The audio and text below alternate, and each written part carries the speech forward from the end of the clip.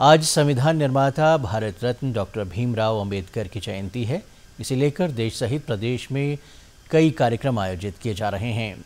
केंद्रीय रेल मंत्री अश्वनी वैष्णव आज नई दिल्ली से बाबा साहेब अंबेडकर यात्रा भारत गौरव पर्यटन रेलगाड़ी का को रवाना करेंगे। ये रेलगाड़ी देखो अपना देश पहल के तहत डॉक्टर भीमराव अंबेडकर के जीवन से जुड़े कुछ प्रमुख स्थलों को कवर करेगी।